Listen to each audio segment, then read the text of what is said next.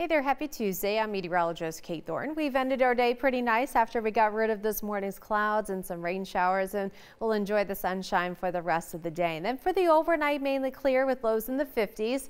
We'll wake up tomorrow morning pretty comfortable, around 60 already. Tomorrow will be a warmer day. We'll keep it mostly dry during the day, cloudy.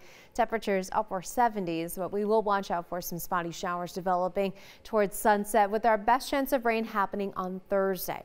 Highs will drop back to around 70 for Thursday and Friday, but then beyond that, we are off and running to some heat and humidity, feeling every little bit of summer for this weekend, the first full weekend of June, with plenty of sunshine to go around and hot weather and some pretty warm, uh, high humidity as well. We got some warm nights coming at us too, so uh, really, really great days to spend some time time outdoors.